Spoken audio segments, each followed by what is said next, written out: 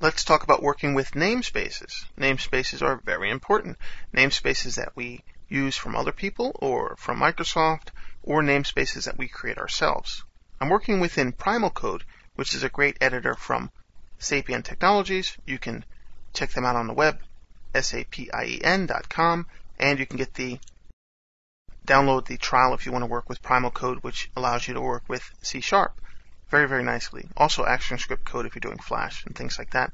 It's a nice editor. I like to use it. I'll use it within the training, but I'll also use the command line compiler and Visual Studio.NET 2003. Anyway, this is just the getting started in the simple namespace.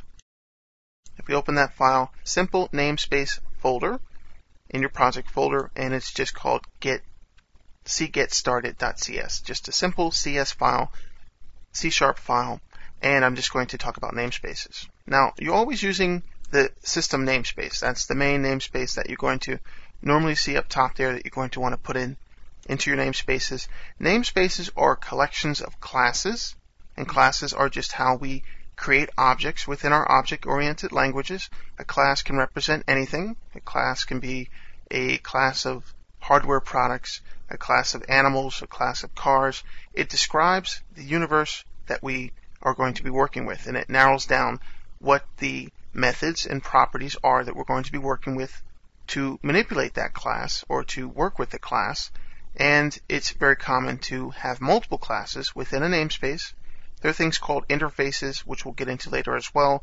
These are special ways to handle working within an object-oriented world as well.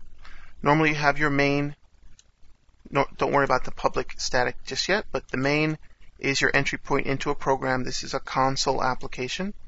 And we just have some code here that we place here. We'll talk about the console write line later. This is a console application. And then I just put a second class in there. No big deal. Classes have methods and properties and ways to actually deal with working within the programming world. And you see we nest everything with our brackets as we move into our code. Very nice and very neat. But let's say, for example, like I said, you're using system namespace. You just created our namespace here. This is something that you could share with others as well, but this is the namespace that you're working with. And normally you're going to try to fit that within a file. Within your C Sharp file, you can also just specify classes within your C Sharp file to extend namespaces as well across files. Let's see. We're going to just take a look at the command line here. And we'll be working with the command line compiler in other examples. You just want to get to the start menu and hit run cmd to bring up a command line and then we just navigate to our folder here and if we just do a dir directory we see that we have our c get started file. I'm just going to compile that and then I'm going to run it. I have this already using the up arrows and down arrows to find what I'm looking for.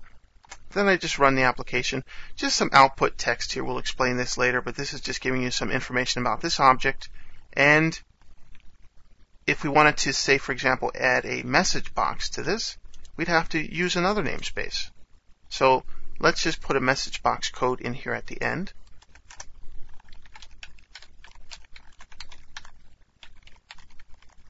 Notice that there was no help there. There was no code hinting there.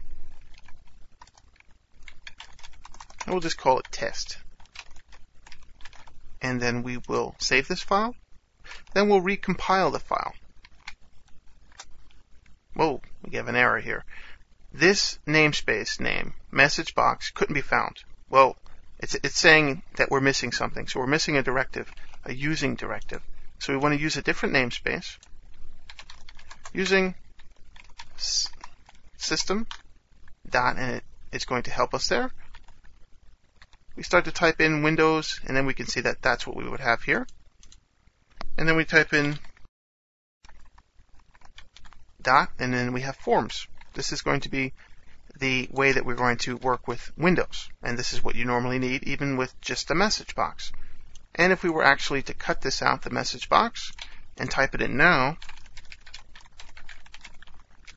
you see that that code hinting is in place. And then it gives you all types of help different ways you can work with the message box. And we'll just save it, and now we will compile it. Missing a semicolon. You'll see this happen to me once or twice. It definitely happens a lot. You need your semicolons there in order to run this application correctly to be able to compile. Always need your semicolons. And there we go. It compiles nicely that time. And now when we run this, we'll clear this first. But when we run, there we go. Message box pops up. Quick and easy. But you need that reference to that namespace there in order for this to work. So you can see that working with namespaces is easy using the using function. We'll do this quite a lot, quite often, most videos. And then we created our own namespace and that's going to contain our get started class, which is the entry point to our main function there, the main entry point to our console application, and then you can add as many classes as you want. We'll go into all the object-oriented details in great detail as we move through the training.